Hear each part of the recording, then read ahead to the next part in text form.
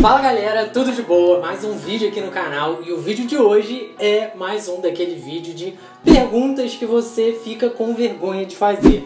Eu fiz um vídeo desse aqui no canal e vocês se amarraram, então tô fazendo o segundo. Eu fiz uma, abri uma caixinha de perguntas lá no meu Instagram e eu pedi para vocês fazerem lá as perguntas que vocês têm vergonha de fazer e eu ia responder aqui no vídeo, ia dar a cara de pau aqui para responder essas perguntas e não iria falar o nome de vocês, enfim, seria uma pergunta anônima. Então, se você não me segue lá no Instagram e tá afim de participar do próximo vídeo assim aqui do canal, me segue lá porque provavelmente eu vou abrir essa caixinha lá de novo, beleza?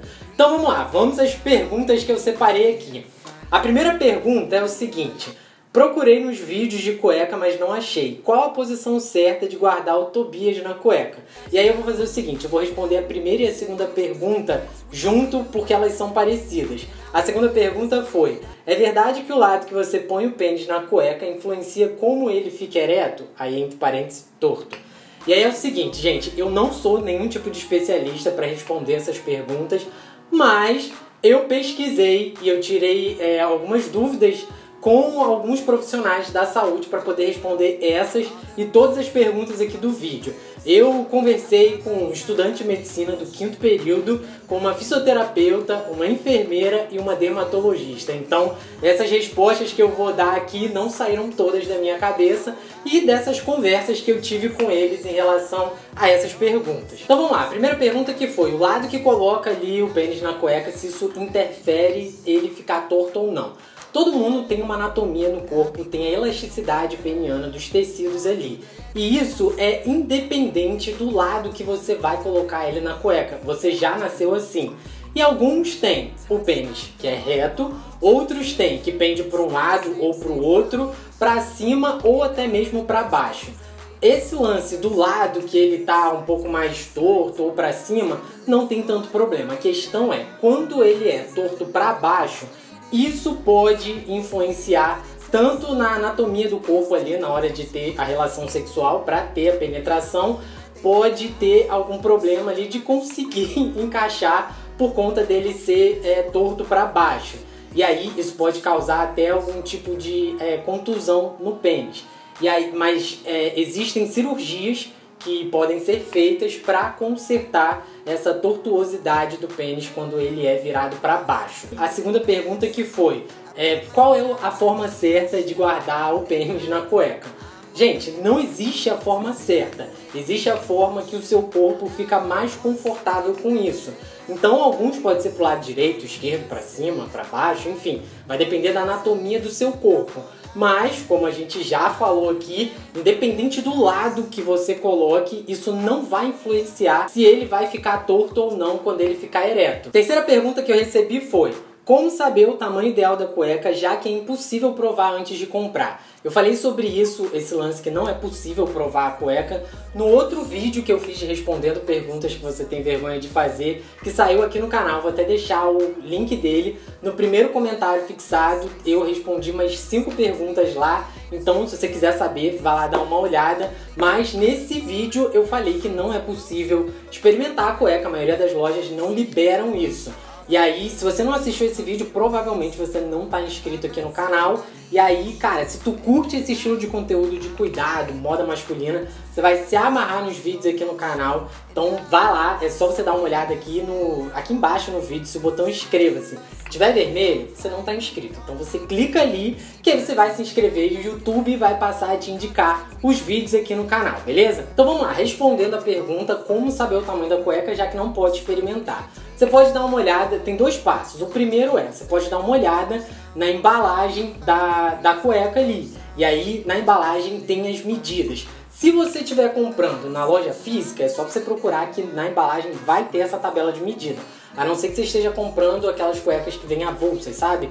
Que não vem uma embalagem. Mas geralmente ela tem uma partezinha ali de papelão que vão ter essas medidas ali. É uma forma de você saber. Se for loja online, você desce ali na página que você estiver olhando a cueca que também na página ali em algum lugar vai ter uma tabela de medidas. Esse é um primeiro ponto, uma primeira uma forma que você pode ver. Outra maneira é você se basear pelo tamanho da sua calça. Geralmente as cuecas seguem, elas são PMG, GG ou Extra G, e aí geralmente calça, pelo menos aqui no Brasil, a gente costuma comprar por 38, 40, e aí também existe essa tabela, vou deixar ela aqui do lado, aparecendo para vocês darem uma olhada. E geralmente é assim, entre 38 e 40 é o tamanho P, entre 42 e 44 é o tamanho M. 46, enfim, gente, por aí tá aqui do lado, por aí em diante. Eu vou fazer o seguinte, eu vou deixar essa tabela na aba comunidade aqui do YouTube, que lá fica mais fácil de você baixar ou de você printar. É só você ir aqui na página inicial aqui do canal, comunidade, que você vai ver lá. Eu vou deixar essa tabela lá para ajudar vocês aí na hora de entender qual é o seu tamanho de cueca. Quarta pergunta que eu recebi foi: como sair com pessoas sendo que não pode e não consegue bancar? Dicas de rolês baratos. Enfim, eu tô entendendo que seja um encontro ou tá ficando, ou tá namorando, alguma coisa assim. Vou responder nesse sentido. Cara, já passei por isso e é muito tenso não ter grana para bancar o rolê. E aí, vamos lá. Uma das coisas que você pode fazer é trocar uma ideia ali com a pessoa e falar que você tá muito afim de sair, fazer alguma coisa junto, mas que você não tem dinheiro para bancar o rolê e de repente rachar ali, né? Sugerir algum lugar e rachar o valor que vocês vão gastar. Essa situação você tem que ter muita intimidade com a pessoa, no caso, já tem que estar tá namorando já há um tempo e tal Aí eu acho que rola fazer essa conversa mais aberta. De repente, sei lá, você já namora há algum tempo e você tem vontade de ir junto ou num restaurante ou numa lanchonete mais legal, só que você não tem dinheiro para bancar os dois, né? A, a o, o lanche, enfim o jantar para duas pessoas. E aí você trocar essa ideia e ver se rola dividir. Mas aí, lembrando, você tem que ter uma certa intimidade. Se for primeiro encontro, não faz isso porque vai pegar mal. Eu, ao, meu ver, eu acho que pega mal você fazer essa proposta num primeiro encontro que você vai ter. Uma outra situação é você bolar rolês ali mais baratos, que foi que você falou, ah, dá uma dica de rolê barato. Eu vou dar uma dica de uma coisa que eu já fiz muito, eu e a Priscila a gente já fez muito.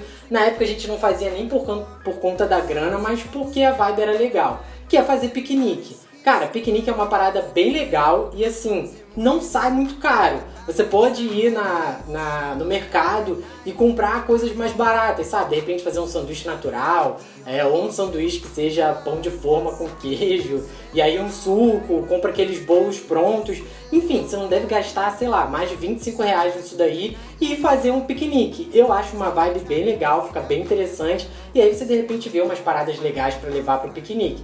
Eu não sei se onde você mora tem condições. Na época que a gente fazia isso, eu morava, a gente morava bem próximo da praia, então hoje a gente fazia na praia, ou tinha um parque lá perto de casa que a gente fazia, enfim.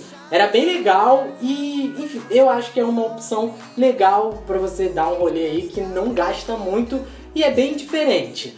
A outra situação é você não fazer esse tipo de rolê agora, você focar no estudo e no seu trabalho e o dia que você tiver condições para fazer algum tipo, né, esse rolê que você quer aí, ou de repente até mesmo piquenique, pode ser que nem condições para isso você tenha, e aí você foca no estudo, foca no trabalho, que com certeza daqui para frente, lá na frente, você vai conseguir fazer o rolê que você quiser, você vai ter grana para bancar isso, beleza?